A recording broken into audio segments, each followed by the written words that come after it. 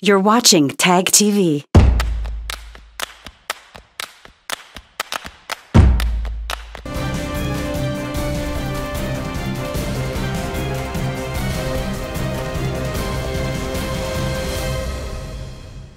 Hello viewers, welcome to Newsweek South Asia, a program that talks about breeding of terrorism and its impact on South Asian nations. Let's begin with the headlines first. Indian security forces continue elimination of Pak-backed terrorists in Kashmir. Pakistani terrorist arrest triggers concern over sleeper cells in India. And security situation takes a turn for the worse in Taliban-ruled Afghanistan. Let's begin the show with Jammu and Kashmir, the Union Territory of India, where Pakistan-backed terrorists continue to create mayhem. In retaliation, the Indian security forces have launched an aggressive offensive against the terrorists, neutralizing many, including a top commander of Jaish-e-Mohammed outfit. These terrorists, trained and backed by Islamabad, have infiltrated into Indian territory with the help of Pakistan Army with an aim to subvert peace in the region. We have a report. These mourners in Kapurthala district of India's northern Punjab state have gathered to pay last respects to Naib Subedar Jaswinder Singh of the Indian Army, who laid his life fighting terrorists in Poonch district of Jammu and Kashmir. Four of his colleagues also got martyred during the gun battle with the terrorists. The terrorists also targeted many civilians, especially those from the minority Hindu and Sikh community in the Kashmir Valley.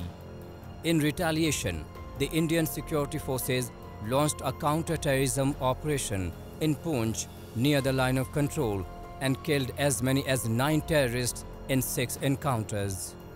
Apart from the major success in the form of top Jaish-e-Mohammed commander Shamim Ahmad Sofi killing eight other terrorists Akib Bashir Kumar, Imtiaz Ahmad Dar, Yawar Gani Dar, Danish Hussain Dar, Yawar Hassan Naiku, Mukhtar Ahmad Shah, Khobab Ahmad Nengru, and Ubaid Ahmad Dar have been neutralized so far. Second October को fifth अक्टूबर को seventh अक्टूबर को तीन जगह terrorist ने attack किया था। सुम्बल में बांडीपुरा हो गया श्रीनगर में दो जगह जिसमें टोटल सेवन सिविलियन मारे गए थे। और उसके बाद हम लोग ऑपरेशन को एग्रेसिवली लॉन्च करना शुरू कर दिए। श्रीनगर में एक इनकाउंटर हुआ। जिसमें एल का एक एक कैटेगरी का टेररिस्ट मारा गया। फिर बांडीपुर में जो आ, कल मारा गया एल का टीआरएफ का जो सो मतलब पाँच अरेस्ट भी उसमें से। फिर अनंतनाग में हम लोग ऑपरेशन लॉन्च किए थे बेरीनाग में। उसमें एक मिल्टन मारा गया तीन भाग गया कल सोपियन में दो जगह लॉन्च किए थे। एक जगह तीन टेररिस्ट एल का मारा गया है। एक अभी फेरीपुरा में दो टेररिस्ट फंसा हुआ है। एनी टाइम इनकाउंटर शुरू हो जाएगा Pakistan aims to whip up havoc and violence in Kashmir. By violating ceasefire and helping terrorists to infiltrate into India. However, they have just been caught off balance by the assertive Indian security forces. The security agencies have identified their affiliations either with Pakistan-based Jaish-e-Mohammed, Lashkar-e-Taiba or local terror modules like Hizbul Mujahideen and the Resistance Front, both backed by Pakistani terror groups. Finally, the government has decided to crack down on the underground and overground network that was supporting the system of terrorism over there in Kashmir Valley. And in accordance to that, all these identified uh, supporters who have been one way or the other being active on social media or on the internet or otherwise, they have been identified and arrested. Now, the problem on Kashmir Valley is that the security forces have achieved tremendous success in eliminating all the top ranking terrorists over there who are operating. Now, it is this support system of the terrorism that has to be dismantled. Terror launch pads in Pakistan occupied Kashmir, close to the line of control, are active again after the takeover by the Taliban in Afghanistan. Since the abrogation of Article 370 in August 2019, street turbulence in Kashmir has remained almost negligible, but there have been encounters between terrorists and security forces in the hinterland. almost 120 terrorists have been gunned down through 2021 as compared to 225 in 2020. असली terrorist कौन है असली terrorist तो पाकिस्तान में बैठे हैं उनकी military है ये जो टेररिस्ट अंदर आ रहे हैं ये पाकिस्तान की सेना और उनकी इंटेलिजेंस एजेंसी उनको हथियार दे के अंदर भेज रही है और पूरा इंटेलिजेंस सपोर्ट उनका है। इसीलिए मैं समझता हूँ कि अगर हमने बदला लेना है तो ये पाकिस्तान की सेना से बदला लेना है और अगर ये बात ज़्यादा जिसको कहते हैं कि इंगेजमेंट बढ़ती जाएगी तो ठीक है। हम हम उसके लिए हमको उसके लिए तैयार रहना चाहिए लेकिन पाकिस्तान को मैं समझता हूँ सबक सिखाना है और अगर आपने टेररिस्ट बंद करना है तो सोर्स जो है, जो जड़ जो है, वो जड़ पाकिस्तान की सेना है और पाकिस्तान की सेना जो भी लाइन ऑफ़ कंट्रोल के ऊपर लगी हुई है, उसको बर्बाद करना मैं समझता हूँ हमारा फ़र्ज़ है Pakistan's proxy war in Kashmir reflects its desperation. There is nothing in the that India has not faced before and overcome with resolve. Experts believe that Pakistan's desperation will convert into more frustration. Any perceptions in the deep state that the assumed success in Afghanistan can be exploited for furtherance in Jammu and Kashmir will be appropriately countered.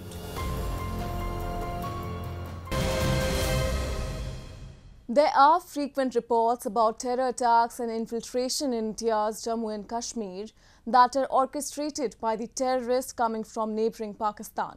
But Islamabad has plans to create instability in other parts of India too by creating sleeper cells. Recently, a dreaded Pakistani terrorist who has been living in India for the past 15 years and involved in various terrorist activities in the country was arrested by police in capital Delhi. This has unearthed the vicious plan of Pakistan to spread terror in India. We have a report.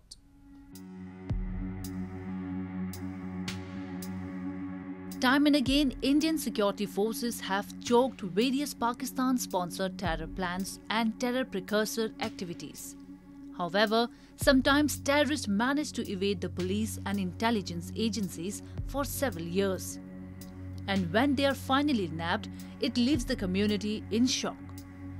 Delhi police recently averted a terror strike during the ongoing festive season with the arrest of a lone wolf terrorist who was sent to India many years ago by the Pakistani intelligence agency.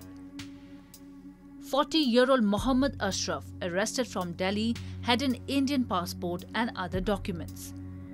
Mohammad Ashraf hails from the Punjab province of Pakistan and was living in Delhi as a Maulana who solved health, family and personal problems of people through spiritual means.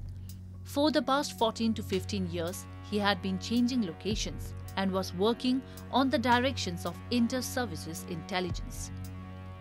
Several arms and ammunition including an AK-47 rifle and a hand grenade had been recovered.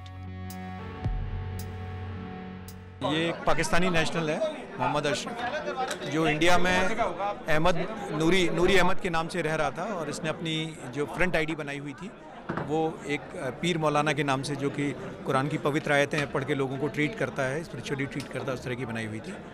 और ये past में भी जो इसकी initial बातचीत से इस interrogation से पता चला है कि ये पास्ट में भी कई टेरर एक्टिविटीज़ में इन्वॉल्व रहा है। और इसके इंस्टेंस पे जो वेपन्स की रिकवरी हुई है कि फोर्टी सेवन हैंड ग्रेनेड वगैरह की उससे एक मेजर टेरर स्ट्राइक अवर्ट हो गई है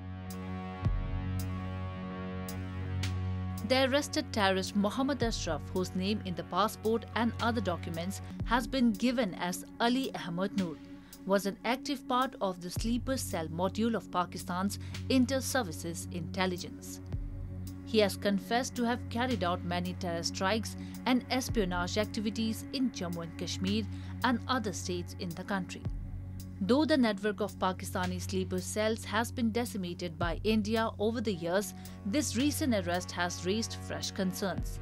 On many occasions, the investigations carried out by concerned agencies in India have pointed out that Pakistan's ISI used sleeper cells across the country to conduct the recce of probable targets. Terrorists operating in India talk to their handlers about the movement of personnel across the border and the shipment of weapons and ammunition for planning terror strikes in the country. A lot of the conversation between these terrorists and their handlers in Pakistan happens in court. Previously intercepted telephonic conversations between the Pakistani handlers and terrorists have revealed that their conversation can sometimes be as basic as the handler telling his operative where to get hold of his second SIM card from, without giving any proof of identity. So, sleeper cell is somebody who has been put into a particular country. He mixes with the country, lots of money, intelligence ways, and but he's assisting in many, many attacks as his revelations have come out. So he's another uh, terrorist from across the border, and ISI has been doing this. You know, it is a type of war against India. So it should come as no surprise that the special cell, now the police special cells are now getting active because a lot of traffic is on internet and social media. While most of the terrorist sleeper cells have been neutralized by India, intel inputs suggest the possibility of sleeper cells being strengthened as a spillover effect of Taliban's takeover. Taliban resurgence has boosted morale of sleeper cells in the country, which may not only try to instigate violence but could also attempt to attract educated Muslim youths to spread their terror agenda. Therefore, to fight such kind of terrorism, India needs a comprehensive and innovative approach rooted in a long-term strategic planning framework and coordinating intelligence.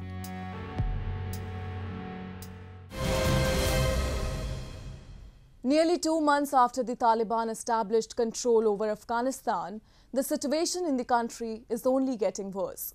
Bomb blasts, one after another, targeting common Afghans and minorities remind that the conflict in the country is far from over. The escalating offensive against civilians is now showing that Afghanistan is at a dangerous turning point for the people of Afghanistan who are stuck between the devil and the deep blue sea. The war that started 40 years ago continues, no matter who is in power in Kabul. And now the Islamic State's brutality signals a new era of terrorism in the country. A report. Afghanistan is grappling with a humanitarian crisis, including shortages of food, medicines, and essential goods. People are forced to sell their belongings, and small children are working to survive. On one hand, people are suffering economically. On the other hand, terrorist organizations like Islamic State are killing them, which highlight the ongoing power struggle in Afghanistan. The deadly suicide bombing by the Islamic State Khorasan at its Shia mosque at Kunduz recently reveals the deteriorating security situation across Afghanistan.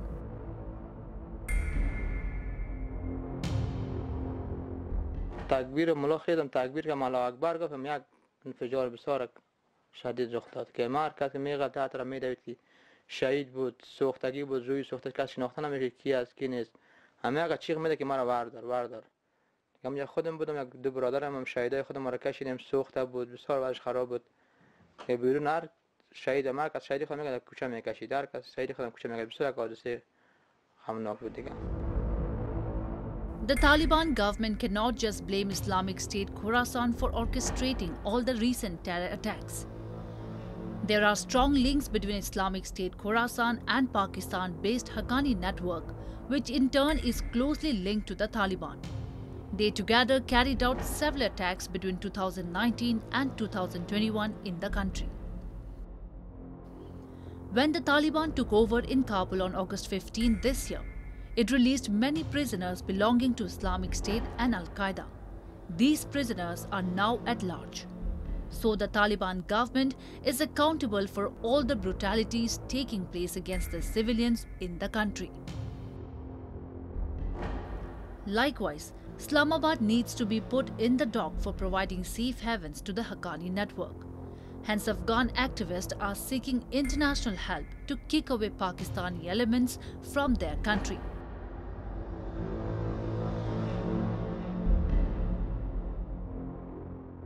We will fight, we will resist, and we will resist until we kick them out from the region. Please support us to this resistance, stop this proxy war supported, sponsored by Pakistan, Pakistan ISI. Otherwise, this Pakistan will destroy the peace of the region and the world will see the consequences more worse than 9-11. And I confirm that and you will see, wait and watch. With the departure of foreign troops, various terrorist organizations are trying to turn Afghanistan into a safe haven for transnational terrorism. The future of the terrorism landscape in the country depends on the Taliban's political preferences and policies towards terrorist groups in the country. Taliban have promised that it will not allow terrorist groups to use Afghan soil for any kind of inhuman activities. And if the Taliban government fails to do that, it will soon lose everything it won. International recognition will be a distant dream for them. Moreover, countries like Pakistan need to stop daydreaming and immediately stop all its notorious activities at this critical point.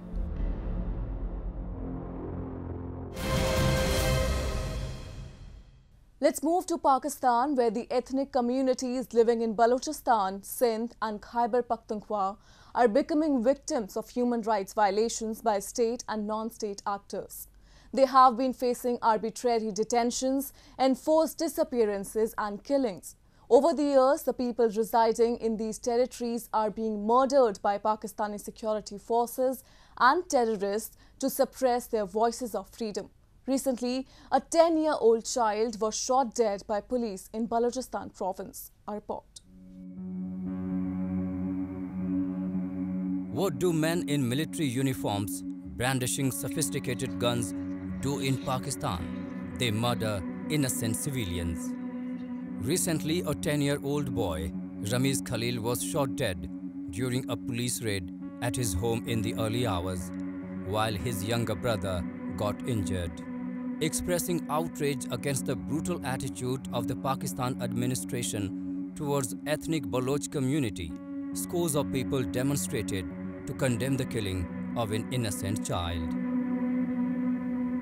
दो दिहाइयों से Bloch सरजमीन पे बलोचिस्तान में Bloch नस्ल खुशी का एक तसलसल जारी है और उसी तसलसल को दोहराते हुए इन जालिमों ने इन जाबिरों ने। बुलेदा में एक घर पर हमला दावा बोला, जिसमें उन्होंने एक आठ साल बच्चा रेहान बलोच के फेस पे गोलियाँ मारी और दस साल रामेश को उन्होंने मौत के घाट उतारा।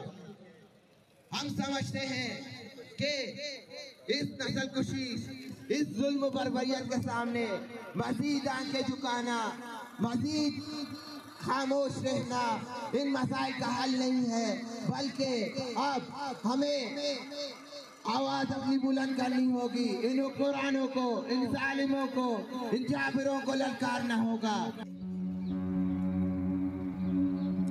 It should be noted that Ramiz was the son of Khalil Rind and nephew of Zarif Rind, a leader of Baloch Students Organization. After killing the child, police took Khalil Rind and he is still under arrest. The family members of the boy and their supporters had staged a three-day sit-in in Turbat town. They later reached the provincial capital, Quetta, along with his dead body, where several activists and members of the civil society joined the protest. They staged their sit-in near the red zone area where the governor's office, the chief minister house and other government offices are located. Such incidents showcase the condition of people in Balochistan and the threat they have to face every day from the Pakistani military.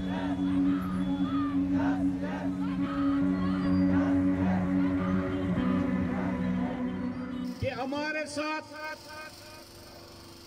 Baloch होने के नाते, बलूचिस्तानी होने के नाते, ये जुल्म क्यों?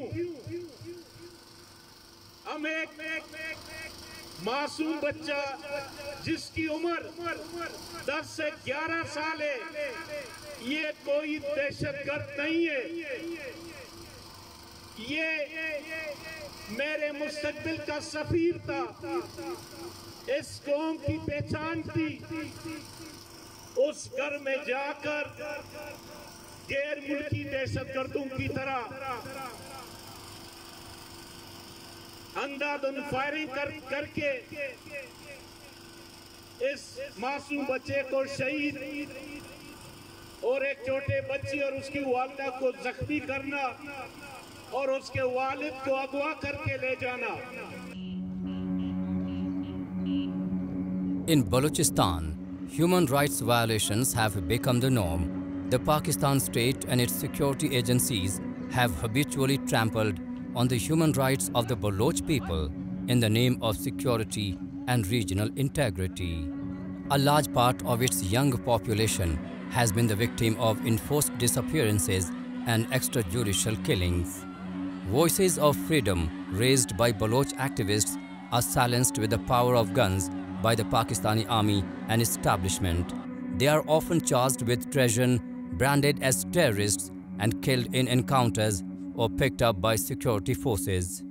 In many cases, their dead bodies are either found in a badly mutilated condition by the roadside or their skeletal remains are discovered in mass graves. And now flouting all the limits of human rights, the Pakistani army and intelligence agency ISI are targeting Baloch women and children.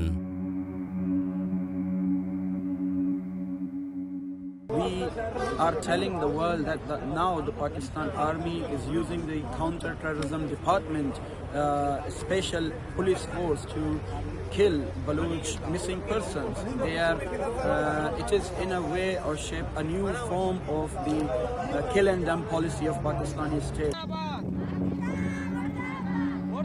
For years, these communities have been enduring state-backed barbarism. However, people who had come to terms with this inhuman treatment are no longer in the mood to live with the status quo. They are out on streets expressing dissent and demanding rights. Islamabad might be playing down the situation in its domestic power corridors, but a rebellion is certainly shaping up among these persecuted ethnic communities.